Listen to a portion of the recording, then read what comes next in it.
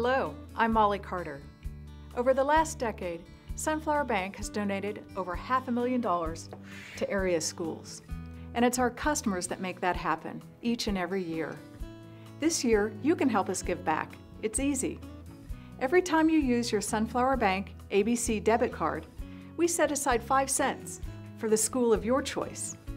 So let's say you use your debit card on average once a day, and five of your friends do the same, and then they ask five of their friends, and so on.